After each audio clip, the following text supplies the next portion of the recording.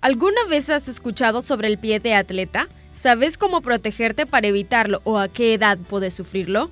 El pie de atleta es una afección que lo padecen mucho los deportistas, por eso se le llama pie de atleta. Pero cualquier persona lo puede padecer. Ocasionado normalmente por humedad en los pies, a veces no secarse bien, o a veces puede ser transpiración en la planta del pie. El quiropractipedio Levi Javier Mayorga dice que ciertos tipos de zapatos pueden causar esta afección en los pies.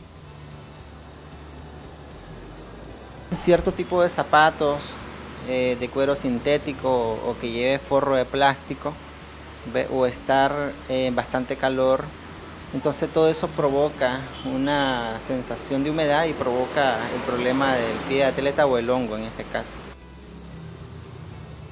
La única forma de saber si se padece pie de atleta o no es yendo al especialista. Puede ser un quiropractipedio o un podólogo. Y le hacemos una valoración.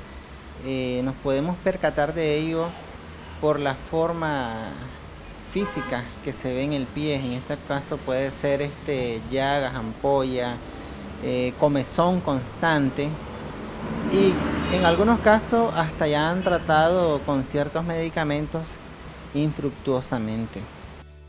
Pero, ¿realmente hay una edad específica en la que se puede padecer de esta afección? En algunos casos puede ser eh, en etapa de la pubertad, cuando comienzan a haber ciertos cambios hormonales en la persona, pero eso no quiere decir que un niño no lo pueda padecer. El pie de atleta, el problema es que está en todas partes, eh, uno fácilmente lo puede adquirir. Pudiera ser, por ejemplo, en una piscina, entonces hay, hay muchas piscinas que no las desinfectan bien, entonces uno puede agarrar eso.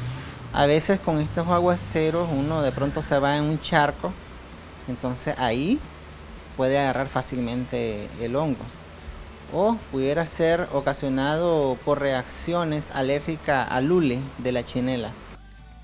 Lo más recomendable, según el especialista, es no automedicarse, porque si se hace, es posible que la enfermedad en el pie empeore. Elizabeth Reyes, Voz TV.